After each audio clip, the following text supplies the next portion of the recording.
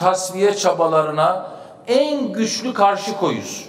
En güçlü karşı duruş.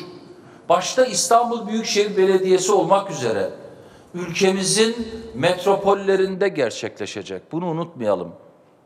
Öncelikle 31 Mart 2024 mahalle seçimlerinde, mahalli seçimlerinde tüm vatandaşlarımızı, demokrasimizi yeniden yeşertmek ve şehirlerimize hep birlikte en güçlü şekliyle sahip çıkmak için beraber yol yürümeye davet ediyorum. İstanbul Büyükşehir Belediye Başkanı olarak diğer belediye başkanlarımız ile omuz omuza bu demokrasi mücadelesinin öncülüğünü tarihi bir sorumluluk olarak görüyorum.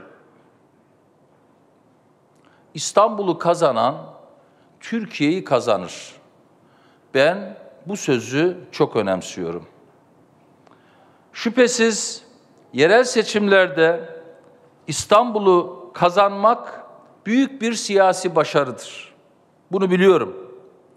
İstanbul'u kazanan bir belediye başkanı dünyanın en önemli ve en güzel şehirlerinden birine hizmet etme onuruna ulaşır. Eğer o kişi milletin ona tanıdığı bu fırsatı iyi değerlendirir ve milletin takdirini kazanırsa bu başarı onu ulusal ve uluslararası siyasette çok önemli başka noktalara taşır. Buna şüphe yok. Ama ben İstanbul'u kazanan Türkiye'yi kazanır sözünü sadece seçim galibiyeti olarak da anlamıyorum.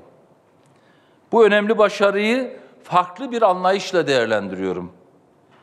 Benim düşünceme göre İstanbul, Türkiye'nin gelecek tahayyülünün hayata geçtiği şehir olmalıdır.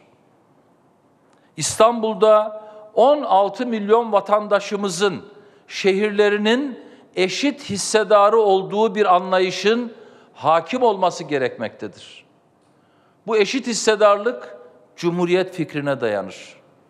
86 milyon vatandaşımızın da kendi ülkelerinin eşit hissedarı olacağı bir gelecek yeniden biliniz ki İstanbul'da yeşermektedir.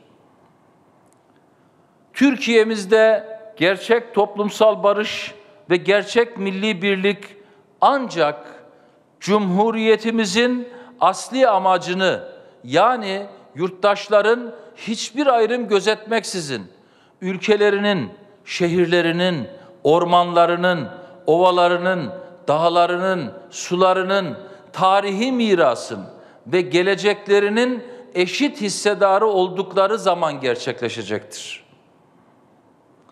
Dört yıl boyunca İstanbul'u hep birlikte dayanışmanın, refahın, demokratik katılımın, birbirini seven ve sayan yurttaşların bir arada mutlulukla yaşadığı bir şehir yapma idealiyle hareket ettik.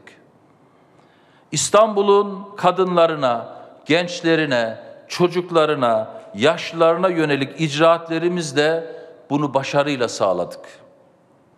Korunan doğası, tarihi ve canlı kültürel hayatı ile zengin bir Türkiye hayalinin hayata geçtiği bir şehir oluşturmaya başladık.